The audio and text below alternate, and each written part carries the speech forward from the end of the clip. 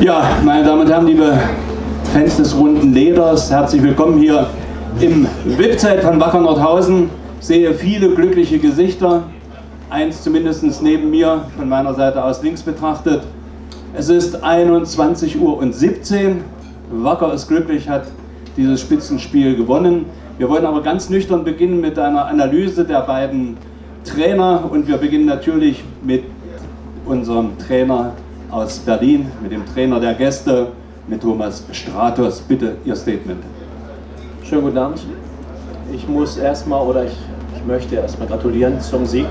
Das äh, gehört sich einfach so. Wir haben heute ein spannendes Spiel gesehen. Das, äh, ab der ersten Minute war es für mich klar gewesen, dass es entweder 0-0 oder ein knappes Ergebnis geben wird. Ich hatte immer die ganze Zeit gehofft, dass es für uns ausgeht. So ist es eben nicht passiert. Aber so laufen eben diese Spiele. Es war ein erwartet spannendes Spiel, ein Kampfspiel, alles dabei gewesen. Ähm, nicht unbedingt unser Platz. Als ich auf den Platz gegangen bin, konnte ich erkennen, dass es eben ein tiefer Platz werden würde. Einer, dem man, der nicht fürs Fußballspielen geeignet ist, nicht eben über 90 Minuten. Ist eine andere Meinung. Ja, dann habt ihr alle auch nicht auf dem Platz gestanden. Sorry. Ja, das kann passieren, das macht nichts. Ja, für Fußballer ist es eben nicht ganz so. Ja, die Jungs haben es versucht, beide Mannschaften.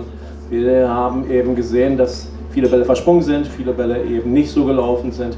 Das ist für unsere Spielweise nicht ganz das Wahre, aber Gott, ich nehme das Ganze so hin. Ich kann meiner Mannschaft nichts vorwerfen. Wir haben alles gegeben, wir haben alles versucht bis zur letzten Minute, haben alles nach vorne geworfen und alle Möglichkeiten versucht zu nutzen, um eben den Ausgleich noch zu erzielen. Wir werden nächste Woche genauso wieder spielen, genauso wieder auflaufen, werden zu Hause spielen und so geht das eben weiter. Danke. Dankeschön, Thomas Stratos. Und ich bin eigentlich aus zweierlei Hinsicht froh, denn mit diesem Platz mussten 22 Spieler zurechtkommen. Vielleicht mal so die kleine Zwischenbemerkung. Und ich bin eigentlich froh, dass ich mit diesem Mann links neben mir hier schon einige Pressekonferenzen durchstehen konnte. Und das im positiven Sinne. Es macht einfach Spaß, mit euch beiden, mit dir, Martin, und mit dem Andreas hier zu spielen.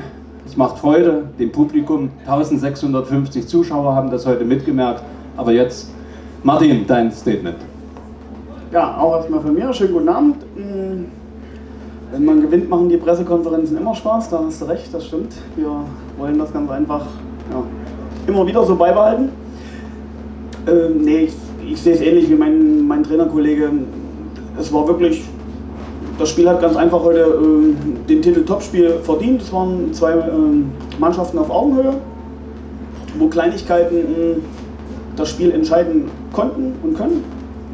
Dies hat, äh, ja, so ist es auch eingetreten. Wir haben der Mannschaft vor dem Spiel gesagt, wir haben in der Halbzeit nochmal äh, explizit darauf hingewiesen, dass heute so ein, so ein Spiel ist, wir müssen 5% mehr machen wie der Gegner und dann entscheidet eine Kleinigkeit, was, was eine Standardsituation ganz einfach ist. Ähm, so ein Spitzenspiel.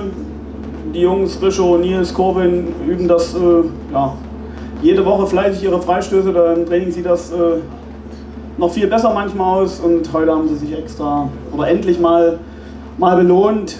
Und ich denke, ja, es war, es war wirklich von uns ganz einfach ein, ein sehr souveränes Auftreten in der ersten Halbzeit. Die ersten 20 Minuten waren sehr ordentlich. Dann haben wir so ein bisschen nachge, nachgelassen, dann ist BFC ganz einfach auch ins Spiel gekommen. Da haben sie eine Qualität, äh, ja, die man nicht absprechen kann und da kannst du auch nicht 90 Minuten gegenspielen.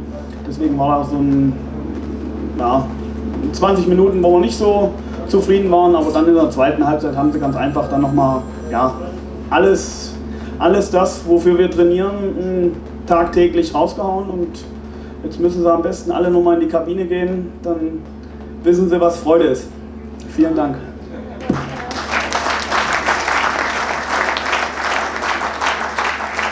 Ja, Dankeschön. Martin Hauswald, wie immer jetzt die obligatorische Frage an die Vertreter von Presse, Funk und Fernsehen. Gibt es Nachfragen an die beiden Trainer? Auch dafür sitzen wir hier. Und wie immer kann ich damit diese hervorragende Pressekonferenz beenden. Ich wünsche unseren Gästen aus Berlin eine gute Fahrt in die Hauptstadt, uns allen ein jetzt doch entspanntes Wochenende und vielleicht träumen Sie in dieser Nacht noch von diesem geilen Spiel. Schönen Dank.